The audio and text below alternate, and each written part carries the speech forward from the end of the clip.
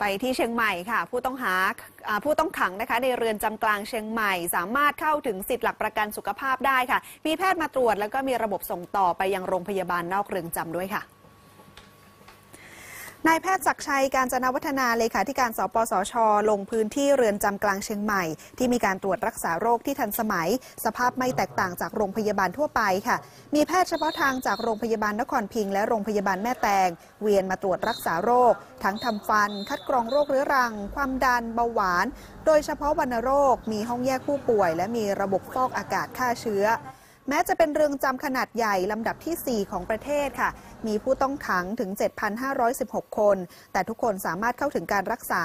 ผู้ต้องขังที่นี่มีสิทธิ์บัตรทอง 7,473 คน หรือร้อยละ 98.6 นอกนั้นเป็นต่างด้าวค่ะ การที่สปสช รุกพัฒนาระบบดูแลผู้ต้องขังที่เป็นกลุ่มเปราะบาง ด้วยกองทุนโรคที่มีค่ารักษาแพง อย่างเช่นเอดส์วัณโรค รวมถึงการขึ้นทะเบียนสถานพยาบาลในเรือนจำเป็นหน่วยบริการปฐมภูมิ และหน่วยบริการประจำทำให้จัดสรรงบประมาณดูแลผู้ต้องขังอย่างมีประสิทธิภาพภาพรวมเรือนจำทั้ง 14 แห่งของภาคเหนือ มีผู้ต้องขังรวม 21,602 คน ได้รับการลงทะเบียนสิทธิ์บัตรทองแล้วร้อยละ 72.61 ค่ะ